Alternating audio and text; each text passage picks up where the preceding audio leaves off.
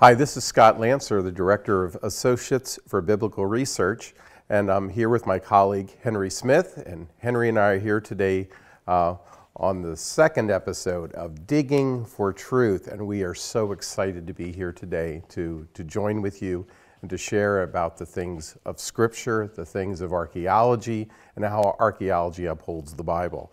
Uh, Henry, welcome. Good to have you here with us today. Hey, it's great. It's great to be here together to talk about the wonderful world of uh, archaeology and the scriptures. Henry, uh, today we're going to be focusing on uh, King David, uh, man or myth. And of course, uh, when um, believers in Jesus, believers in the Bible, when they think about King David, they don't even have a, a thought that King David might not have exist, existed we assume he exists. But for those outside of the Bible who don't believe the Bible, there's a, a, a lot of skepticism yes. out there in the world.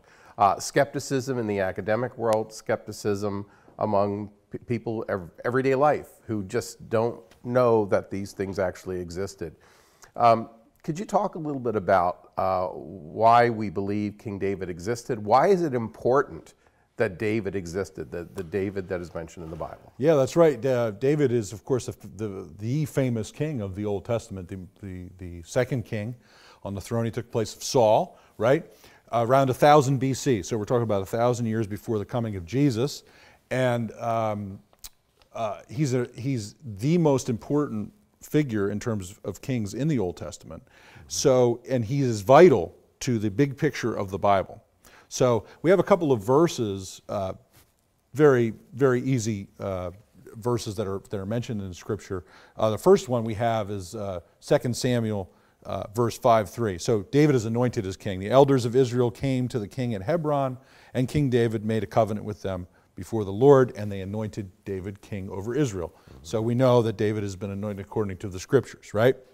Then we have a, an incredible promise that's given in 2 Samuel. And it says, a promise given by God. God is speaking to David. Your house and your kingdom shall be made sure forever before me. Your throne shall be established forever. So, this is a prophecy uh, that's given in the Old Testament that not only establishes David's uh, kingship at that time, but it points to a future kingdom uh, that, that will come and a, a, a greater king will come. And that king is Jesus who comes into the world, right? To establish his kingdom forever. So there's a direct connection. This is an important point. Yes. Direct connection between historical King David and King Jesus. Yeah, that's, that's exactly right. This is a, a lot of times uh, pe- people struggle with the connection between their walk with Jesus Christ, Christians who love Jesus, and why are we talking about archaeology in the Bible, this stuff that happened in the Old Testament way back then? I, I, I want to walk with Jesus. I want to, I want to, I'm saved by him. I've been, I've been delivered from my sins and so on. Uh, but the Bible connects him to all of Scripture. And this, this figure of David, who lived in history, is vitally connected. Here we see a concrete example. The implication is so great for the gospel if David was not a real person. If he wasn't a real king in a real city of Jerusalem, he had a real kingdom and a real throne that's mm-hmm. connected to mm-hmm. the proclamation of Jesus coming to fulfill that promise that David was given. The mm-hmm. implications for David not being real are enormous for the gospel. Yeah. Yeah, and you know, it makes us wonder you know, what the motivations are of some skeptics. Because, right. see, in some cases, uh, you know, they're looking, they're, they're, they're, they're speaking out of their scholarly academic backgrounds and right. saying, well, we have questions about historical David. But it, it does sometimes suggest that there could be a real worldview difference here. Yes, yes, it's definitely a worldview clash uh, where you have the, the Christian worldview, which is, the, which is found in the scriptures, right? It's articulated in the Bible. And then this other worldview. Part of that is the insistence that the archaeology, uh, what's recorded in the Bible, must be authenticated by archaeology. Mm-hmm. So if we don't have any evidence for David, concrete evidence, then we have to be skeptical about the text of the Bible. And this happens all the time in other, in other uh, areas of the Bible, but particularly when we're talking about David. We have to have, we must have separate evidence. The text is an ancient text. It should stand on its own, uh, not just as the Word of God, but just as an ancient text that comes down to us from a very long time ago. Mm-hmm. So uh, it's a question of worldview. It's also a question of method and what, what is the structure of how these two things relate to one another. Yeah. Now, now some, some of the skeptics, uh, they're, they're going after no ev- evidence for David because for them, when they, they look in the Bible, well, first of all, they may not look in the Bible because uh, this goes back to this worldview clash because for some they dismiss the bible as a religious text. It's non-historical. You shouldn't even look at it. Right. You should just only be looking for evidence uh, in archaeology you know. How should we respond to that sort of issue? Yeah uh, uh there, you know there's a, a, number of things that i think as the church that we've, we've got to look at uh, where there's a worldview clash in terms of how we view uh, an ancient text and the kind of skepticism that's, that's uh, put upon it. The Bible is treated as suspect. Uh, so it's guilty before it's proven innocent, as opposed to the other way around. We would say, at minimum, that it ought to be given a fair hearing because it is an ancient text. Uh, and there's good reasons to treat it as historical. Uh, the other part of it is all writing from the ancient world has a worldview that's been intertwined with it. Mm-hmm. Other writings outside the Bible, they had other gods that they worshiped. And that theology informed the way that they wrote. Mm-hmm. Modern people are informed by their worldview and how they write and what they share. So the idea that the archaeologist is neutral and the Christian is not is a false argument. Yeah. Yeah. The secular person has their own worldview that informs the way they look at things, and mm-hmm. the Christian has a worldview that informs their way. And there's a worldview clash that goes on. So we've got to acknowledge that. Yeah. And then look at, at that. So it's, it's more than just evidence. Yeah. Uh, there's something that goes on that's deeper than that. That's right. And see, we're talking here about archaeology, we're talking about discoveries, and we're comparing, uh, we're, we're thinking about that but now, what you're discussing is the historical realities of David and yes. various people in the Bible. And uh, there's an inconsistency, it seems to me, in how all of this is discussed. And we can talk about that some more. Um, but, you know, the religious texts that these scholars investigate, they treat them with fairness. They come to the Bible, the Bible, like, like they'll quote all day long all these other religious texts and right. how they, they bring knowledge into the historical yes. pursuit. Um, but when it comes to the Bible, you're not allowed to do that. Now, we, we only have a, a, a little bit of time here in this segment, Henry. Yes. How can we address this whole issue of this unfairness as Christians? I think twofold.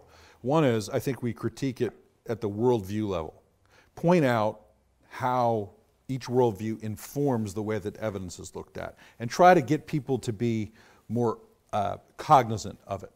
And then, mm-hmm. second, actually talk about the evidence, which is what we're going to do in our next segment, talk mm-hmm. about actual discoveries that are sometimes ignored or dismissed. Okay. Well, we're talking about King David, man or myth, and we're talking about these, these large areas of uh, investigation surrounding David, uh, the, philo- the, philosophical approach to understanding history. Uh, but what we're really looking at is, you know, where, where, where, does the evidence take us? We know what the Bible says, but where does the evidence take us? And we'll talk about that when we come back. Welcome back to Digging for Truth, and I'm Scott Lanser with my friend and colleague Henry Smith, and we're talking today about King David. Was David a historical figure? Uh, ultimately, the question is can we trust our Bible? And of course, we are proclaiming very loudly that yes, indeed, we can trust the Bible because it is the Word of God. But the archaeological evidence uh, strongly affirms David's existence as well. Uh, but we're talking about some of the criticism and the critiques of David being a historical person. Um, Henry, um, one of the arguments that's made about David is that he's, uh, he's really a, a, fictitious person. Yes. Um, how, how, would you address that? Uh, statement. Yeah, as, as I talked about in the previous segment, the, the first way I would address it is uh, challenging the idea that we should not take the biblical text seriously. So that's at one level. You would challenge it. You would say, um, I don't accept the idea that you must have archaeology to support what's in the ancient text. So that would be the first way. Then the second way would be to actually talk about evidences that have been found that actually affirm David. Before we do that, let's just show a couple of quotes. Standard kind of quotes that you can find. You just go out in the Google search and you can find this. Here's King David is uh, fictitious. There could not have been a united monarchy with Saul or David or Solomon in Jerusalem during the 10th century BC. That's uh, a thousand years before the time of Jesus, and this is fairly typical. Um, or that his reign is exaggerated. So we have, you know, it's highly unlikely that David ever conquered territories of people more than a day or two march from the heartland of Judah. We will suggest that Solomon's Jerusalem was not extensive or impressive, and so on. Uh, these are very standard, typical viewpoints of many scholars, liberal, critical scholars uh, in the academic world as it relates to David. Now, um, but there are some evidences that have been found, some incredible evidences that actually mention David that are either dismissed or rationalized around, but in my view, they're very clear. Yeah. Now, now, Henry, th- you just uh, read a couple of quotes here. Yes. From some uh, fairly well-known, established scholars, Correct. critical scholars. Right. Now, th- this kind of approach, uh, people might say who are who are viewing this show today, that they're going to say, well, maybe this doesn't affect us. Maybe maybe this is just uh, in those you know lofty positions of the academic world. Right. But the reality of it is that these arguments filter their way down into our culture. They show up on popular uh, cable television shows. Absolutely. Uh, there's lots of different uh, uh, cable shows that are dealing with topics related to the uh, to the Bible and to its history. So, and, and it eventually finds its way all the way down into the church. So, why should we take these issues seriously? Yeah, you're exactly right. That's exactly what happens. It, it, it makes its way on popular TV programs, so people watch them. And if they, they don't have enough knowledge of the subject, uh, they're, they're not sure how to grapple with it. Now, a lot of times, intuitively, Christians will say, that, well, that doesn't sound right. And that often is the leading of the Holy Spirit or their, their own knowledge of the scriptures. And that's a good thing. Uh, but that is not always the case. Uh, this stuff can lead people astray, lead them away from the gospel, lead them away from the scriptures. Uh, and also, it's made its ways into the seminaries. Uh, we, have seen in our experience uh, established Christian seminaries where these ideas make their way into it and then begin to affect the teaching. In seminaries, pastors are trained. So, this is a very serious problem um, and uh, one that we have to confront with gentleness and respect, of course, right? Mm-hmm. So mm-hmm. um, let's talk about a little bit about one discovery that mentions David on it, mm-hmm. the Tel Dan Stela. Mm-hmm. mm-hmm. Um, we'll see on the screen here, here's a discovery that was found in the early 1990s. And it mentions on it the house of David. Written in the ancient Aramaic script, mentions the house of David. Now, it's from about 150 years after the time of David. Mm-hmm. So What's really interesting about it uh, in, in this respect is this stone, if you want to call it that, inscription, is uh, a victory inscription from a king from Aram, where we get the word Aramaic. Uh, the Aramaic kingdom is mentioned in the Bible in various places in the conflicts that they had with Israel. Mm-hmm. So this king is declaring victory over the king of Israel. Now, at that time, it's not David. It's 150 years later. Mm-hmm. And it says, House of David. So I defeated the king of Israel, the house of David. So here we have an enemy of Israel acknowledging that the king that he defeated, allegedly in battle, is of the lineage of David. If you want to say he's a hostile witness, he's not defending Israel by any stretch, he wants to defeat Israel. Mm-hmm. And he's referring to the king as the house of David. So not only does it mention David, but it's an extraordinary acknowledgement by the enemies of Israel that the current king is descended from King David. Yeah, yeah, that's uh, it's it's a, an amazing an amazing uh, discovery, the Tel Dan Stela. Um, uh, you know, I, I, think about some of these discoveries. Um, some people say, well, okay, that's just one discovery. They sometimes set the whole the weight of the scholarly community against these discoveries. Why yes. is a discovery like this so significant? Yeah, you look at the, that. There's another one we're going to talk about in the next segment uh, called the Moabite stone. It's extraordinary discovery. Also mentions David, but we'll we'll save that for then. Mm-hmm. Um, there's always a conflict about the interpretation of these things. So, so the scholars are debating the inscription. It says House of David. It's pretty clear that that's, that's what it says. You know, one scholar says, no, it says, um, uh, that's not David, it's the word for uncle. Yeah. So in the context, yeah. you read it, you're saying, I, de- I defeated the king of Israel, the house of uncle.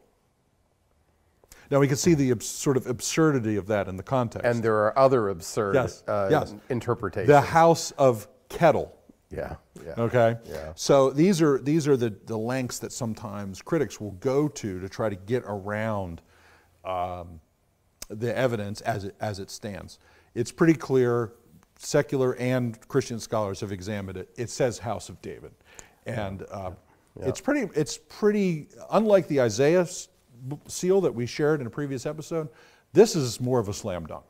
Yeah. See, uh, you know, for all the vaunted objectivity that sometimes scholars project, sometimes you see some of the most ridiculous efforts yes. to avoid what seems to be painfully obvious yes. in the evidence. You know, um, we don't have an enormous amount of discoveries that mention David or the house of David, but we have some very important finds. And as we move into our next segment, we're going to talk about them. But it, it is amazing, isn't it, that there is a resistance to want the Bible to have credibility. That's the thing that I observe more than anything else. Yes. They, they do not want the Bible to have credibility because of the spiritual message of the Bible. Yes. We have a few seconds here. What, what are your uh, No, I was just going to say, the, the, in the Christian worldview says that man without Christ is trying to escape from God. And that's a spiritual reality that scholars also deal with. Very good, very good, Henry. Well, we'll be back in just a, a minute to uh, continue this interesting conversation about, the, uh, about David, man or myth, and of course, we believe that the scriptures have told us exactly who David is, and that he indeed existed and lived, and the kingdom of David is very, very real. We'll be right back. Hi, we're back once again uh, with Digging for Truth, and I'm here with my uh, friend and colleague Henry Smith, and we're talking about King David. We're talking about whether or not David actually existed. And of course, um, we believe that he, that he certainly did and that he was a historical figure. But we're going to talk some more about the evidence that upholds and supports the fact of David's historicity. So, uh, Henry, there's a, a, very important discovery that was made uh, called the Moabite stone, also known as the Mesha stela. Um, could you tell us about how this uh, connects with our discussion about David? Yeah, we talked in the, in the, last segment about the Tel Dan stela, which mentions the house of David in it, right? It's, a, it's an inscription written by a foreign king uh, from uh, Aram. Here we have another uh, incredible discovery. This is from the 19th century, actually, uh, called the Moabite stone. It's written by the king of Moab, Mesha, who's mentioned in the Bible. And so this is uh, his perspective of the events recorded in 2 Kings 3. So in 2 Kings 3, you have the biblical perspective, the perspective of Israel. And here you have the same events being recorded in this stone, mm-hmm. giving his perspective, his twist on the conflict that was yes. taking place at that time. It's quite extraordinary. If you look at the picture on the screen, you can see that you can see where it's been broken. And what's interesting is, just as, as a funny aside, the Bedouins who had, had found this thought they could get more money from the archaeologists, yeah. so they smashed yeah. it to pieces, thinking yeah. that they could, they, they could um, uh, get more money for. It. It's really, really yes. kind of funny. They misunderstood uh, right. how, how right. incredible this discovery is. Yeah.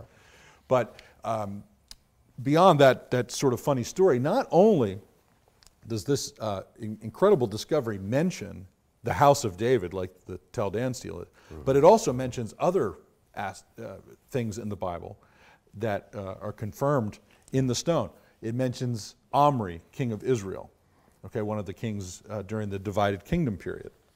Incredibly, it mentions the name Yahweh, Yeah. the covenant personal name that God revealed to Moses at the burning bush. Yahweh. So here we have uh, the people of Moab, the king of Moab knows who the God is that the Israelites worship, or at least are supposed to worship, right? So we have the covenant name of Yahweh. Of course, we have Mesha, king of Moab, right, mentioned in the stone. We have his God, Shemash, or Chemosh, mentioned 11 times. Quite extraordinary. Chemosh is mentioned in the Bible. So the biblical authors were familiar with this God that the Moabites worshiped. So you see a contemporary uh, authorship of the biblical account, not written centuries later. And this is an important thing, Scott, right? We often hear, we, we talked about programs before, like the History Channel and that kind of thing. So often they will say the biblical accounts were written centuries supposedly after they took place, usually during the Babylonian exile. Mm-hmm. But really, that's, that's impossible in many ways because here you have the biblical author talking about a Moabite god. Mm-hmm. Centuries later, there's no way they could have known that. It would have been beyond their knowledge. Yeah. Now, beyond that, it also mentions the tribe of Gad, mm-hmm. which is one of the tribes of Israel, the 12 tribes of Israel. So that's mentioned in the stone. And something quite graphic and horrific is mentioned in the stone, and that is that the king of Moab sacrifices his own son Yeah. to his God because of what's happening in terms of this battle. Very gruesome but extraordinary. And of course, child sacrifice is mentioned in the Bible and recorded in the Bible and forbidden by Yahweh for the Israelites to engage in that practice.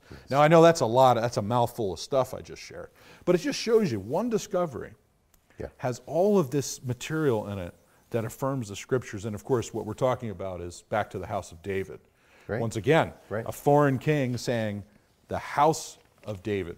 I defeated the house of David. Yeah. Uh, the Mesha Stela is extraordinary because it is so has so much information, and it, and the whole story of it being broken into pieces, and then you know parts of it were restored, and Yes. then other parts they took, uh, you know, they impressions of it, and anyway, Fortunately, they took impressions before that was broken by the Bedouins, yes. Yeah, it is Yeah. extraordinary that it's all come back together. It's a very important find. Well, all this relates back to David, and uh, just briefly, uh, let's talk a little bit about just Jerusalem. Obviously, it's David's city. Uh, Yes. Maybe we could talk just about that and its importance. Yeah, very, briefly, I mean, uh, there's uh, uh, Eilat Mazar, the archaeologist, is, is digging there in, in Jerusalem, and she has found a, a, large structure that she believes is David's palace. Uh, and, and so it could be David's palace. We're not 100% sure about that, but it's a very significant find because it's in the right place at the right time. And uh, you can see this drawing on the screen of, this, of the city of, of David, how it may have looked in the, in the ancient time. What's interesting about it is you see the couple of hills. Here's another uh, piece from the Bible. Jerusalem is written in a, it's not a singular text, but it's dual, like Elohim is. It has a, a multiplicity of some kind in it. And that's probably because of the multiple hills that Jerusalem consists of. It's very, very fascinating. But her excavations in the city of David are quite interesting. And uh, it's possible that she has found David's palace. Right place, right time. Yeah, yeah, very exciting. And uh, she's uh, digging at the Ophel. She's been involved in a number of important Yes. discoveries. Um, we, uh, uh, there's a lot of lines of evidence to do with Jerusalem, connecting, connecting it to David. And uh, hopefully, in a future episode of Digging for Truth, we're going to be able to get into that in more detail Yes. because the evidence is quite extraordinary for in support of King David and for uh, in, in, in support of um, uh, Solomon, uh, David's son Solomon, and, and his kingdom, and all of the the entire um, uh, historical um, history of the kings. Yes. and the monarchy. That's we'll right. The monarchy. So we're Looking going to be forward to that. Yes, we, we, we are. We, we really are. Now we're we're down to the last minute here, uh, Henry. How how can we wrap up our discussion? Well, we're going to put a scripture on the on the screen, and I'm just going to hit the highlights real quick of it. How important David is here from Acts chapter two. Uh, Peter speaks. He says, first of all, that David is dead. but mm-hmm. Jesus is alive. Mm-hmm. That Jesus has been resurrected from the dead. Mm-hmm. But that Jesus, that David wrote about Jesus, predicted his coming and is sitting on his throne. And that there was great confidence. We have seen the resurrected Jesus.